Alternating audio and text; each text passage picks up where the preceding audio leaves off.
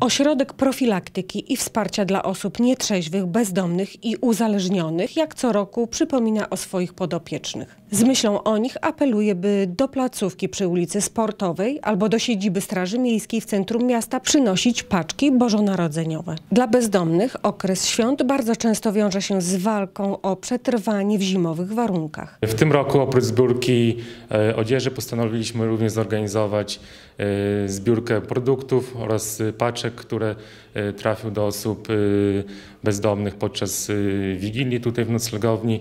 To jest tak zwana akcja Paczka dla Bezdomnego.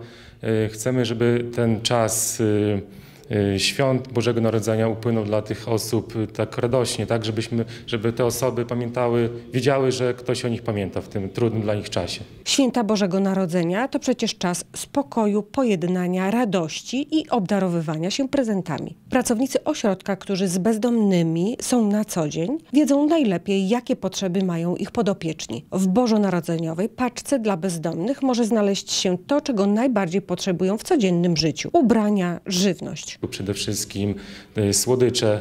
No tak, warto, żeby e, ten czas właśnie tak dla nich umilić. Kawa, herbata, e, ale także rękawice, czapki, jakieś skarpety czy maszynki do golenia. Doskonałym prezentem dla bezdomnego są też środki czystości, kosmetyki oraz radyjka na baterię. Paczki wręczone zostaną podopiecznym podczas wigilijnego spotkania. Zachęcamy do przynoszenia y, produktów, ale także całych paczek. Jeżeli to będą produkty, to zostaną opakowane w jakiejś takiej formie prezentu, a jeżeli też będą gotowe prezenty, to w takiej formie zostaną przekazane. Pospieszmy z pomocą. Na obdarowanie bezdomnych prezentem świątecznym mamy czas do 12 grudnia. Na paczki czekają pracownicy dawnej Izby Wytrzeźwień przy ulicy Sportowej 24. Można ją też przekazać pozostawiając pakunek w Straży Miejskiej przy ulicy Noniewicza 71a.